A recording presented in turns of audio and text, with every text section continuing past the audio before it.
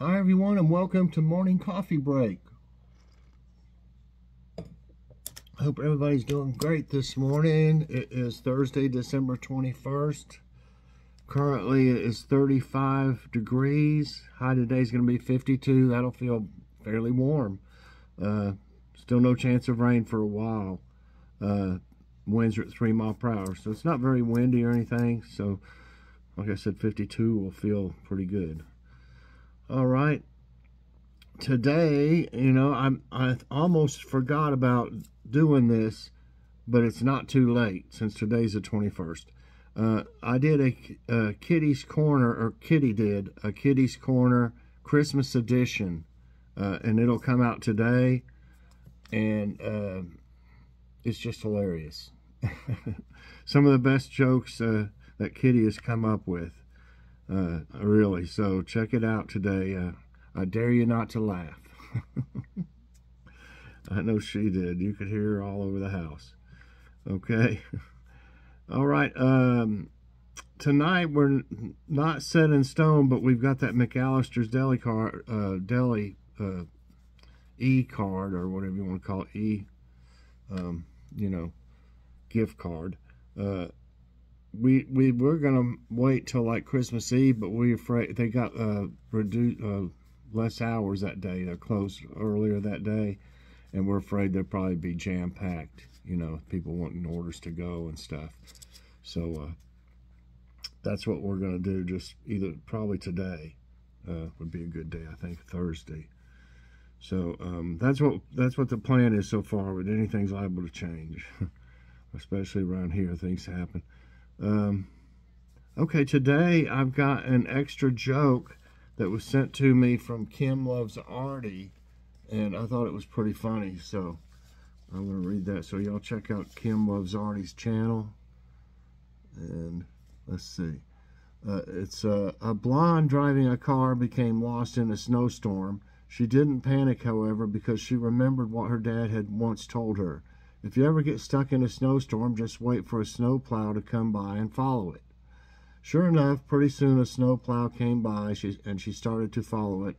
She followed the plow for about 45 minutes. Finally, the driver of the truck got out and asked her what she was doing, and she explained that her dad had told her if she ever got stuck in a snowstorm to follow a plow. The driver nodded and said, Well, I'm done with the Walmart parking lot. Do you want to follow me over to Kroger now?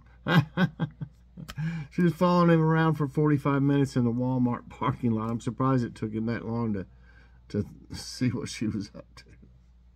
That's funny. That's a good one, Kim. Uh, okay, let's get to uh, our our regular ones. Let me see if I can find them. They who knows where? There they are. I get tons of emails. Okay. Uh, okay, this one is called Who's Your Daddy?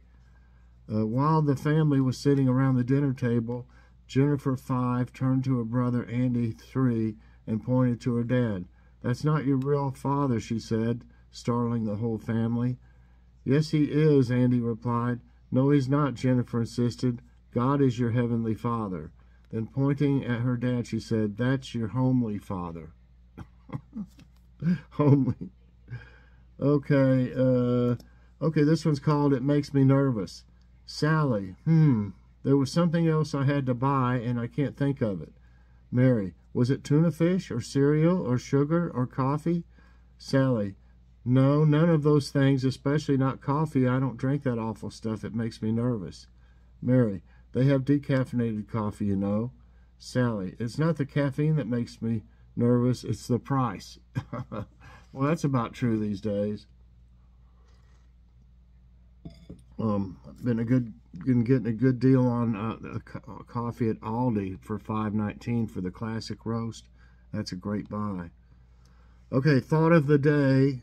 Uh, when uh, when was the last time you were reading a book or magazine in a dream? If you are like most people, you won't be able to recall. More than likely, it has never happened.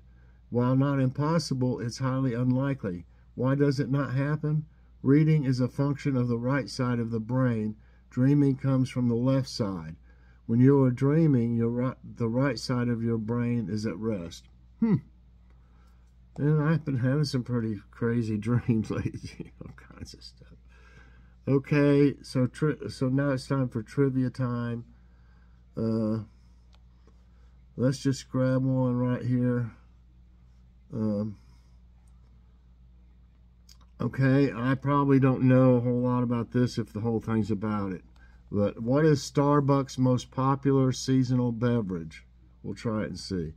Uh, maybe y'all know more about Star Starbucks. Uh, chestnut praline latte, pumpkin spice latte, caramel brulee latte, Irish cream cold brew. Okay, I'm going to go to it. Okay. I say, I don't know. I hear a lot about pumpkin spice, so that's what I'll go for. Hey, I got it. Starbucks debuted the pumpkin spice latte in 2003, and the PSL grew to be the company's most popular seasonal drink, selling more than 600 million since its inception and fueling its adoption by rival coffee chains and neighborhood cafes. Wow. Man, as much as they charge for one, they're probably super rich. Um, during what season do, do cherry blossoms bloom in Washington, D.C.?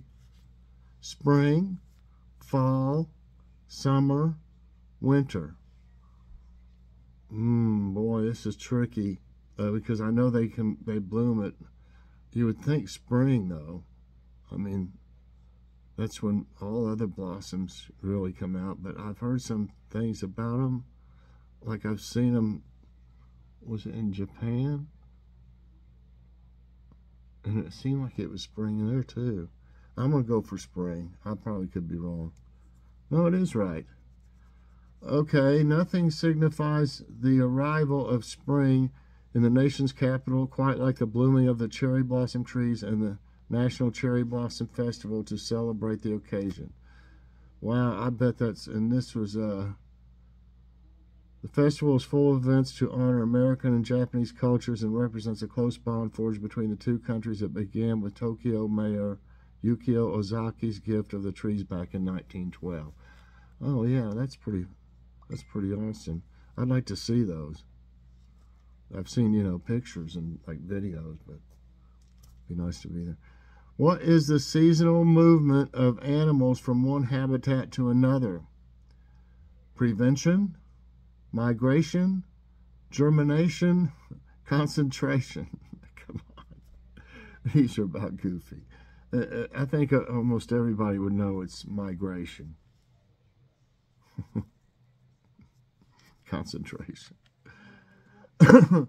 Animal migration is the relatively long distance movement of individual animals, usually on a seasonal basis. It is the most common form of migration in ecology. I'm having some trouble with my floaters, y'all. They're all over my eyes, and it makes it, it makes it hard to read because it can go right in front of a word. So I'm not. I'm having, I'm just have a rough time when it does that sometimes. So let's see. So next question. In which season does the Eiffel Tower get bigger? Bigger? Spring, summer, winter, autumn. Well, if, if what I'm thinking is uh, when you heat something up like the metal, it expands some. So I'm going to say summer. Right. Like any metal, puddled iron is sensitive to variation in temperature, so it reacts to high temperatures in summer and low or even negative temperatures in winter. When the temperature rises, the tower increases in size. This is a natural physical phenomenon called thermal expansion. Hmm. Okay, what is another name for the season called fall? Winter, spring, summer, autumn. Come on, are these these some of these are just too easy today. I mean, I think everybody would know that fall is like autumn. There's kind of a couple of them too easy. Uh, autumn, also known as fall in American English and Canadian English, is one of the four temperate seasons on Earth. Which popular festivity takes place in Rio de Janeiro every summer? I'm not for sure about this. Cowboy Festival, Circo de Nazare, Festa Jun, uh, Junina, Festa Junina, or Junina, or I'm not for sure. J U N I N A, Rio Carnival, Carnival. I think I've heard carnival before. I mean, I've heard that term with something like these uh, festivities. Rio Carnival is what I'll, and that's right. The Carnival in Rio de Janeiro uh, is a festival held every year before Lent in the summer month of February. It's considered the biggest carnival in the world with 2 million people per day on the streets. Oh my gosh, I couldn't handle that. Mm-mm. And, you know, it makes me wonder they probably didn't have it for a few years, I guess, with the uh, pandemic. You, you, know, they wouldn't allow people to be, I don't know if it's the same over there, but um, you wouldn't think they would have had it, you know. Uh, okay, next question. I got six right. None wrong. I'm surprised. How many hours of daily sunlight does the South Pole get in the summer? South Pole. 24 hours. Hi, Kitty. 8 hours. 5 hours. None. Okay, I know, um, I don't know, really know if it was the North Pole or South Pole, but it is dark all the time uh, for a certain period. Uh, but I'm not for sure. Which, how many hours of daylight I'm going to go with none. I might be wrong on this one. Nope, it's 24. I'll say it's sunny all the time. I got it backwards. I know one of them, it's dark for so many months or something. Okay, so I missed that one. It got me 24 hours. During summer in Antarctica, the sky is never dark. Around the summer solstice, weather conditions permitting, the sun is visible 24 hours a day. Uh, okay, in the winter, okay, in the winter months, the opposite occur. Okay, the lack of darkness and long night affect human Canadian rhythms. Uh, so it's so it's light out for 24 hours during the summer, and then in the winter it's dark. So that would be crazy, you know. Okay, I missed one, six and one. When does the summer solstice, solstice start in the northern hemisphere? June, March, September, December. December. I was trying to read on it with a summer solstice start in the northern hemisphere. June. I wouldn't think it would be like in September because it's not that warm, and, you know. I, am going to go with uh, June. And you got March, September, and December. June. That's right. Uh, for two moments each year, called solstices, the Earth's axis is tilted most closely toward the sun.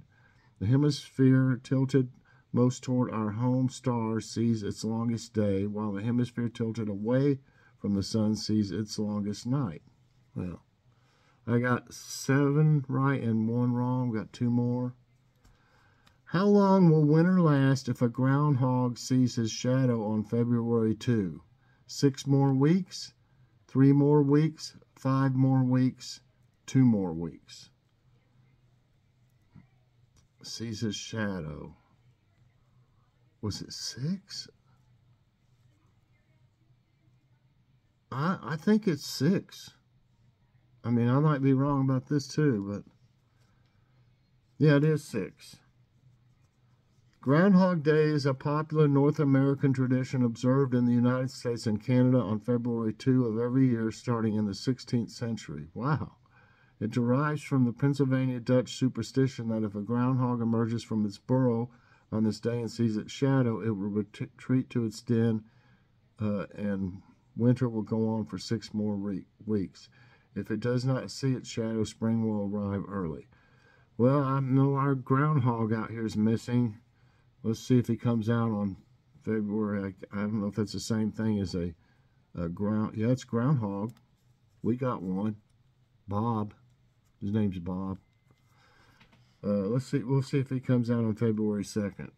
Okay. I'll have to film him if I can catch him out. He must be hibernating now. One more. Eight right, one wrong. In which part of the U.S. is, is the lobster roll a summer staple? Southeast, Pacific, Midwest, New England. Lobster roll. Lobster roll. Uh, for some reason, I think it's New England. And that's right. And it showed a lobster. Uh, native to New England, the most common types of lobster rolls are Maine, which features a cold mayonnaise-based lobster salad, and Connecticut, in which the lobster meat is tossed in butter and served on, warm on a bun. Ooh, sounds good. Whichever style you prefer, we certainly don't judge. A classic, classic lobster roll is perfect summertime treat. Yes, I bet. I've never had one. Okay, nine right today and one wrong. I'm surprised. That's that's a pretty good score for it. But some of them, you got to admit, were pretty easy today. I mean, some of them were almost funny. Uh, so anyway, everybody, I hope you enjoyed morning coffee break. If you did, I hope you'll press that like button. Also, subscribe if you haven't already and share this out. And hit that so you get all my videos as soon as they come out. Everybody, I hope you have a great day. And definitely check out Kitty's Corner Christmas Edition. Oh, man. I didn't think she was going to make it through it. Uh, her eyes were watering and everything. She was laughing so hard. So, oh, you just wouldn't believe it. So, thanks for watching, everybody. Like I said, and check out Kitty's Corner later on. You're going to love it. Bye, everybody, and God bless.